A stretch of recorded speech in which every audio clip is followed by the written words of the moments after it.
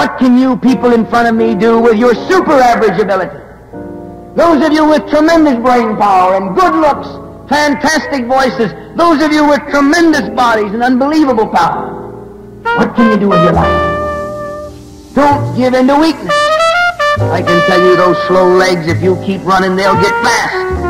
I can tell you that if you lift weights and climb rope and all this, your arms will get strong. Your frail body will get strong. I can tell you that even if you stammer and stutter and can't talk, you can work on it until your vocal cords respond. They will speak.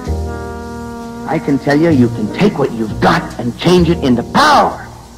People have the idea that the great athletes are the gifted or they're endowed with unbelievable inheritance or coaching or opportunity that the guys who are great are great because they're way up there and we're way down.